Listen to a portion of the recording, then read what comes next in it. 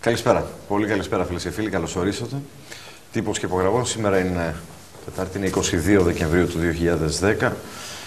Σε λίγες μέρες είναι Χριστούγεννα. Θα ήθελα όμως να ξεκινήσω με μια δυσάρεστη είδηση και να απευθύνω για τα θερμά μου συλληπιτήρια στην οικογένεια του Προέδρου του Εργατικού Κέντρου Θεσσαλονίκης, του κ. Νίκου Γιανόπουλου, ο οποίος χθες βράδυ άφησε την τελευταία του πνοή ε, λόγω της επάρατου νόσου, η οποία τον ε, θα μπορούσα να πω ότι τον βασάνιζε αρκετά τον τελευταίο καιρό, τα τελευταία ένα-δύο χρόνια.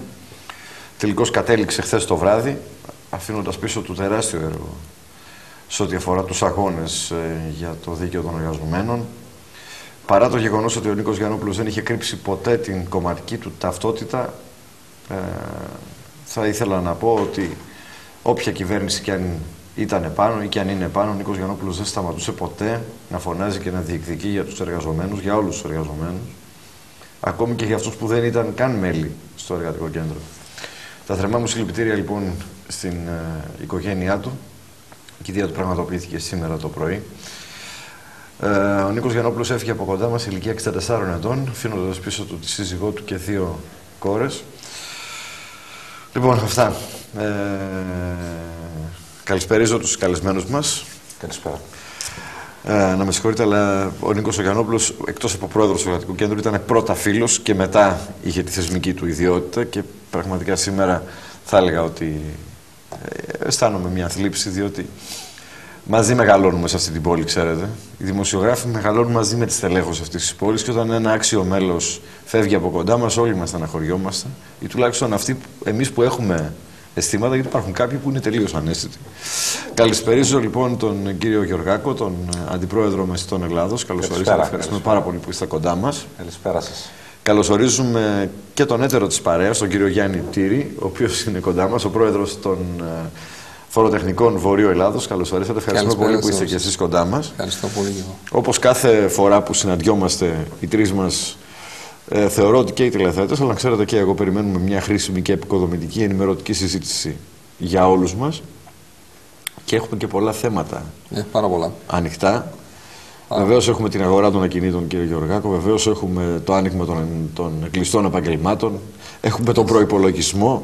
Δεν έχουμε τι να πρωτοπροϋπολογίσουμε σήμερα, θα έλεγα. Τελειώνουμε σήμερα, τελειώνουμε. Το βράδυ σήμερα ονομαστική βράδυ... ψηφοφορία στη Βουλή τελειώνει, οπότε θα ξέρουμε από αύριο τι γίνεται. Εμένα πάντως μου άρεσε πολύ, ξέρετε, αυτό το ξεκάρφωμα από πλευράς αρκετών βουλευτών του Πασόκ που είπαν, ξέρω εγώ, να, εμάς δεν μας αρέσει, αλλά θα τον ψηφίσουμε κτλ. Αυτό μου άρεσε πάρα πολύ.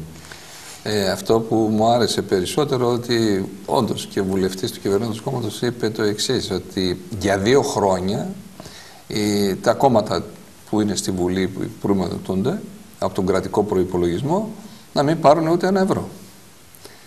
Ε, φανταστείτε όμως ότι τόσα χρήματα τα οποία παίρνουν τα δύο μεγάλα κόμματα τουλάχιστον παίρνουν σχεδόν ισόποσα ότι θα δημιουργήσουν καλό ταμείο δηλαδή αν πάρουν λεφτά. Το θέμα πώς θα κινηθούν. Ε, δικό τους πρόβλημα. Καλή η Μπορούν να φέρουν ένα ποσό από, τις, ε, από την αποζημίωση, την μηνιαία αποζημίωση, του κάθε βουλευτή. Όπως κάνουν μικρότερα κόμματα. Ε, Έτσι, μην το ξεχνάμε αυτό. Στο ΚΚΕ, για παράδειγμα, οι βουλευτές δεν παίρνουν, δεν, δεν παίρνουν στο χέρι το μισθό το βουλευτικό. Φάρεστε, παίρνουν με ένα καλό μισθό, αλλά όλα τα υπόλοιπα χρήματα πηγαίνουν στο κόμμα. Θα μπορούσε Νομίζω ότι είμαστε έτοιμοι, είναι έτοιμα τα κόμματα για κάτι τέτοιο ακόμη.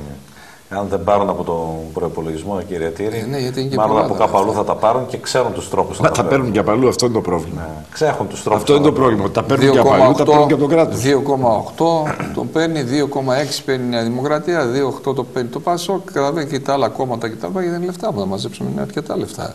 Που θα μπορούσαν, ας πούμε, πραγματικά σε αυτή την κρίσιμη στιγμή που περνάει η χώρα ε, να πιάσουμε τόπο οπουδήποτε. Δηλαδή, γιατί Ζητάνε, εδώ ακούγαμε χθες ότι θα κόψουν και τα επιδόματα στους τρίτεκνου. Ναι, ναι. Διότι είχαν νόημα ότι δεν υπήρχε. Η μια άποψη ήταν ότι όσοι έχουν πάνω από 40.000 εισόδημα θα κοπούν. Α, λέμε εντάξει, έχουν εισόδημα αυτή η κοπεί. Αλλά από την άλλη μεριά, αν θα κοπεί εντελώς, έχουμε που έχουμε υπογεννητικότητα στην Ελλάδα, να αρχίσουμε πλέον ύστερα να ψάχνουμε να βρούμε ποιοι θα είναι οι νέοι Έλληνες. εισόδημα με τρία παιδιά που το ένα πάει γυμνάσιο και τα δύο πηγαίνουν λύκειο ή το ένα πηγαίνει Εντάξει, λύκειο ήταν, και τα δύο είναι πηγαίνουν ένα γυμνάσιο. Μέτρο, είναι ένα μέτρο που μπορεί με να τα δίδακτρα, με τα φροντιστήρια, τις μουσικές, το ένα, το άλλο. Λυπάμαι πάρα πολύ, είναι, είναι λίγα τα χρήματα. Είναι, και δεν το φτάνουν 40.000. 500 ευρώ είναι 6.000 το μήνα. Το χρόνο δεν είναι. Το ζητούμενο, ξέρετε ποιο είναι. Τελικά που αναρωτιέται ο κάθε Έλληνας, αν όλα, όλη αυτή η θυσία, όλα αυτά που γίνονται, πιάσουν τελικά τόπο. Αξίζει τον κόπο. Εγώ πιστεύω ότι ένα από τα ερωτήματα που θέτει ο καθένας είναι αυτό. Δηλαδή, εντάξει, θα κόψετε το ένα, θα κόψετε το άλλο, θα κάνετε το, τόσα πράγματα, θα φορολογήσετε. Αξίζει τελικώ τον κόπο. Εγώ βλέπω την κοινωνία όμως ότι βάζει πλάτη αυτή τη στιγμή και αρχίζει σιγά σιγά συνειδητοποιεί ότι βρισκόμαστε σε δύσκολη θέση και αρχίζει βάζει πλάτη. Αλλά αλίμονο εάν αυτές οι θυσίες, και το λέω έτσι ότι αλίμονο αυτές οι θυσίες του ελληνικού λαού, εάν δεν πιάσουν τόπο. Τώρα ξέρετε ότι ο κόσμος πράγματι θα ξεσηκωθεί και το θα έχουμε εμφύλιο πόλεμο εδώ μέσα. Δεν είναι απλά τα πράγματα. Το θέμα είναι και αυτοί που είναι σήμερα στην κυβέρνηση πρέπει να προσέχουν πάρα πολύ. Το κάθε βήμα και το κάθε ευρώ που πάει. Και εκεί πρέπει Γιατί... να προσέχουν που πάνε οι ίδιοι. Μα, βασικά... Βλέπετε τι γίνεται.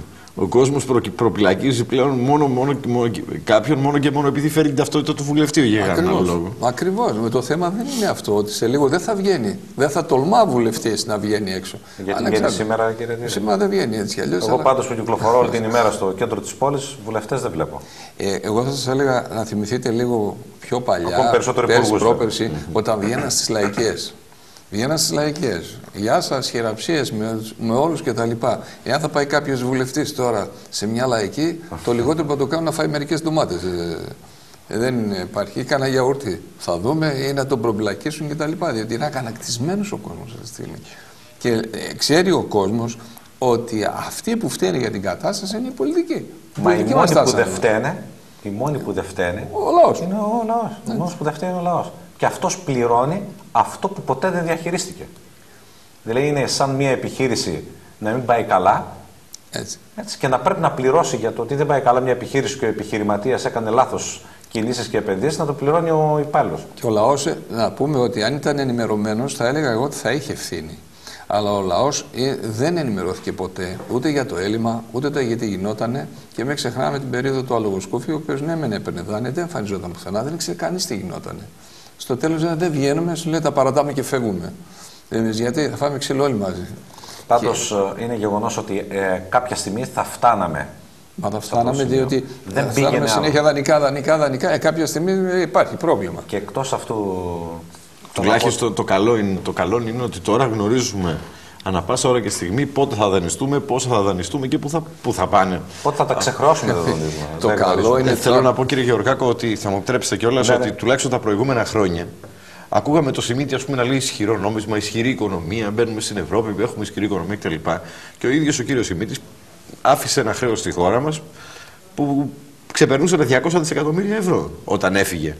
Αλλά μιλούσε το 2002, ας πούμε, όταν μπήκε η χώρα μας στην ΟΝΕ, όταν, ε, όταν μπήκαμε στο ευρώ, συγγνώμη, ναι. ε, μιλούσε για ισχυρή οικονομία και για ισχυρό νόμισμα. Έλεγε ότι η οικονομία της Ελλάδας είναι ισχυρή. Μα πώς μπορείς να το λες αυτό με 200 δις χρέος, είναι δυνατόν; Πάντως έχουν γίνει πάρα πολλά λάθη για να μπορέσει. Δηλαδή, τόση στάχτη στα μάτια του κόσμου. Αυτή τη στιγμή πληρώνουμε τα λάθη. Μην το ξεχνάμε. Αυτή τη στιγμή πληρώνουμε τα λάθη των πολιτικών. Διότι ναι. η Ελλάδα, εάν πραγματικά υπήρχε νοικοκύρεμα και αν δεν είχαν αυτό το, αυτή τις, ε, τις δαπάνες, γιατί βλέπουμε στο δημόσιο τομέα, ένα παράδειγμα, χρειαζόμαστε 200.000 δημοσίους υπαλλήλους, έχουμε 700 και μάθαμε τελικά πόσους είχαμε μετά την απογραφή. Επιτρέπεται σε ένα κράτος, σε ένα υπουργείο, σε μια κυβέρνηση να μην ξέρει πόσους δημοσίους υπαλλήλους έχει. Αν δεν γινόταν η απογραφή, δεν θα ξέραμε μέχρι σήμερα.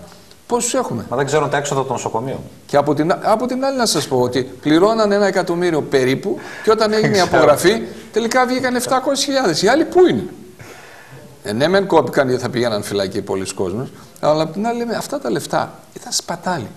Και από τη στιγμή που παίρνεις δανεικά για να επιβιώσεις, δεν μπορεί να είναι τα δανεικά να πληρώνεις αυτούς τους ανθρώπους. Πρέπει να καταλάβουμε ορισμένα πράγματα. Το έχουμε πει και άλλη φορά. Και, και σήμερα αυτή δεν μπορεί. Ο Ελπάπη, για παράδειγμα, που είδαμε προχθέ, 8.500 το μήνα. Καθίστε, παιδιά. Ποιοι είστε εσείς 8.500. Στον, στον ιδιωτικό τομέα και τα λοιπά που παίρνει 500 ευρώ ο νεαρός ή η νεαρά για να δουλέψουν με κίνδυνο μήπως απολυθούν διότι αυτοί και διατρέχουν και τον κίνδυνο να αναπολυθούν. Να σας πω και κάτι άλλο. Αυτά τα χρήματα Δεν τα έδινα εγώ κι εσείς. Τα έδινε το ίδιο το κράτος. Αυτό λέμε, το ίδιο το δημιούργησε όλη Έτσι. αυτή την κατάσταση. Ακριβώς, και ποιο είναι το ακριβώς. κράτος, ποιος διοικεί το κράτος, η πολιτική. Εμείς τα δίναμε. Ε. Αυτοί δεν τους τα δίνανε. βέβαια. Αυτοί δεν τους κάναν συνεχόμενες. Είχε ο καθένας από 10 Επιδόματα, επιτροπές, επιδόματα, επιτροπές επιδόματα. στην επιτροπή και παίρναν λεφτά. Πώς τα βγάζαν τα λεφτά αυτά; Και να σου πω και κάτι άλλο που το θεωρώ το Ορίστε. χειρότερο που έχει γίνει στη, στη χώρα μας. Είναι ότι πέρασε ουσιαστικά στο πετσί του Έλληνα ότι έχεις μέλλον μόνο αν είσαι δημόσιος υπάλληλος. Και βλέπετε Έτσι, ότι έτσι. η γενιά η δική μας, τα καλύτερα μυαλά ήταν το όνειρό τους για να μπει στο δημόσιο. Στο δημόσιο. Αντί να βγουν έξω και να ασχοληθούν με το επιχειρήν, να κάνουν Έτσι. επιχειρήσεις ή να μπουν σε επιχειρήσεις, στο δημόσιο. Ή σε τράπεζα. Δεν θα ξεχάσω ότι πριν ίσως και ένα μήνα έχω πάει σε μια τράπεζα εδώ της Θεσσαλονίκης για να ρωτήσω για. μου είχε έρθει το, το ΕΣΠΑ, εγκρίθηκε το ΕΣΠΑ και να ρωτήσω κάποια πράγματα. Και βρίσκω ένα νεαρό, χαριτωμένο, ωραίος, πρόσχαρο, αξιοπρεπέστατο. Του λέω πόσο χρονών είσαι, 26-27 χρονών. Αυτός 27 χρονών που είναι λοιπόν, τέλειωσε πανεπιστήμιο στη Θεσσαλονίκη, Μακεδονίας, πήγε στην Αγγλία, σπούδασε, έκανε μεταπτυχιακό και γύρισε για να μπει στην τράπεζα. Μάλιστα. Και του είπα τι ρόλο, τι, τι- για ποιο λόγο βρίσκεσαι εδώ; Έτσι. Λοιπόν, πολλά καλά μυαλά ελληνικά χαθήκαν στο βωμό του δημοσίου και της σιγουριάς που πιστεύω ότι βλέπω τουλάχιστον εγώ την κίνηση ότι αρχίζει αυτό και αναστρέφεται. Τώρα βέβαια δεν υπάρχει περίπτωση σιγά σιγά, διότι πρώτα να πω το εξής, ότι θα μειωθεί ο αριθμός των δημοσίων υπαλλήλων ε, πάρα πολύ. Διότι στους πέντε που φεύγουν θα προσλαμβάνουν μόνο ένα, φανταστείτε ότι με την πάρα του χρόνου θα φτάσουμε πραγματικά να έχουμε 200.000 υπαλλήλους και όχι 700.000. Αυτό είναι μια δαπάνη υπέρογγη για το κρατικό προϋπο- προϋπολογισμό, διότι αυτά βγαίνουν από το ε, κρατικό κουρβανά και πληρώνονται τα λεφτά. Ε, κάποια στιγμή ε, δεν θα αιμορραγεί η οικονομία σε βάρος αυτών των ανθρώπων. Ε, Έτσι. Αν σου Γι' αυτό ρωτήσω λέμε. κάτι εγώ, Ναι. παίρνω το ρόλο του δημοσιογράφου, εσείς μπορεί να το έχετε ζήσει βέβαια, ότι παλαιότερα έχω ακούσει ότι το- στο δημόσιο δεν πήγαινε κανένας. Ναι, δεν πήγαιναν, γιατί τους Δηλαδή, κοροϊδεύανε. δεκαετία ναι. 50, Έτσι. 60 και τα λοιπά εκεί, παρακαλούσαν να πας στο δημόσιο και δεν πηγαίνουν. Δεν πήγαιναν. Και από τη δεκαετία του 80 και μετά όλοι στο δημόσιο. Μέχρι Μα πού; και ήταν η σιγουριά τους, το πολύ το χρήμα, επιδόματα. Όχι, και δεύτερη πάρτε, δουλειά. πάρτε. Και δεύτερη- ένα μεγάλο Το μέρος βέβαια. αυτό Ναι. ήταν στο δημόσιο σε μια δουλειά. Έκανε για τη δεύτερη δουλειά και βλέπαμε τι γινότανε. Πάρα πρέπει Και να. μέχρι πριν από μερικά χρόνια κάποιοι είχαν και δύο και τρεις και τέσσερις θέσεις στο δημόσιο, κύριε Γεωργάκο. Να τα λέμε και Έτσι. αυτά. Δεν είναι κακό. Τώρα Δεν το είναι κακό. ευχάριστο είναι. Και, και υπάρχουν ακόμη τέτοιοι άνθρωποι. Βέβαια. Απλά αυ- τώρα αρχίζουν και συμμαζεύονται λίγο τα πράγματα, τουλάχιστον σύμφωνα με τα λεγόμενα των κυβερνώντων. Τώρα δεν ξέρω άμα κάποια στιγμή ανακαλύψουμε πάλι Άμα το καμιά δούμε και αυτό, ντουζίνα σε διπλό, άλλες διπλό, τετράπλο, εποχές σε- πάντως, τετράπλο, ε, πενταπλοθεσίτες. Ναι, θα πούμε σε άλλες εποχές. Ορίστε κύριε Τυρή. Εάν γινόταν αυτά που γίνονται σήμερα, έτσι, περικοπές και τα λοιπά, θα υπήρχε ένα-δύο εκατομμύρια κόσμος στους δρόμους. επανάσταση θέλει. Σήμερα φαίνεται αντιλαμβάνεται ο κόσμος ότι δεν, δεν γίνεται άλλο παραπάνω. Και βλέπουμε ποιοι κάνουν απεργίες και ποιοι πάμε μπροστά. Αυτοί που παίρνουν τους μεγάλους ψηλούς μισθούς και είναι σίγουρο το δημόσιο. Γιατί στον ιδιωτικό τομέα βλέπουμε φοβάται ο άλλος ακόμη και απεργία να κάνει για να μην χάσει τι, τα 700 ευρώ.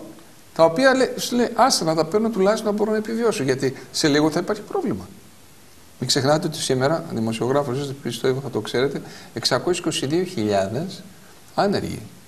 622.000 με στοιχεία προχθεσινά. Ε, πού- πού θα πάει αυτό, μισό λεπτό. Είναι, είναι, είναι ένα νούμερο Προχθές πολύ μεγάλο. Είχα διαβάσει το εξής. Ότι η ανεργία που μας δείχνουν το ποσοστό είναι πλασματικό. Γιατί; Πάντα είναι αυτοί που πλασματικό. δεν. Θα σας πω κάτι άλλο που δεν το ήξερα. Το ήξερα Ναι, για την ναι. πλασματικότητα του, του ποσοστού αυτό. Ότι δεν περιλαμβάνονται οι δημόσιοι υπάλληλοι οι οποίοι δεν πρόκειται να μείνουν